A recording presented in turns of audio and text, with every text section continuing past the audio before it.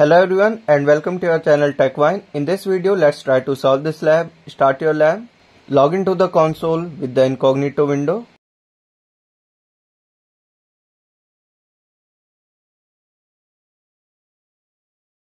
Search for Vertex AI.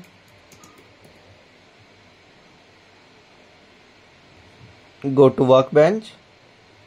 From User Manage Notebooks, open your Jupyter Lab. Open Generative AI folder, then the Gemini, then Getting Started. Intro Gemini Python, open it. Again we will provide a project ID and the region. Scroll down a bit. Go back to the lab. Copy your project ID. Paste it.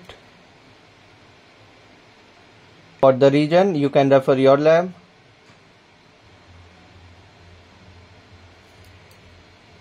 Now let's run the cells one by one.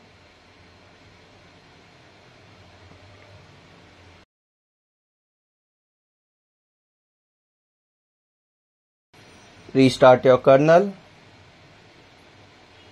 click ok then run all of the cells